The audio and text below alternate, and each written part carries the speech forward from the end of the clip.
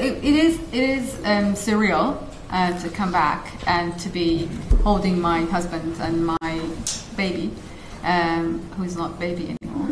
But also, I think um, I'm not going to answer the first part of your question, but the second part of your question is I did go through a journey to uh, get to know myself a lot better, to get to know my strengths and uh, my faith more than anything else. Um, so um, it was um, a journey with a huge, huge, huge price. Um, but I think it is something that not many people in the world would experience. So um, looking back, we paid a huge price for it, but uh, at the end of the day, we it, it, made us a lot closer. We made so many good friends and got to know families of the ex-prisoners or pr- prisoners who are at, um, at, this moment in prison. So I think it made us a lot closer to each other and a lot stronger together. Um, but we paid a massive price for it.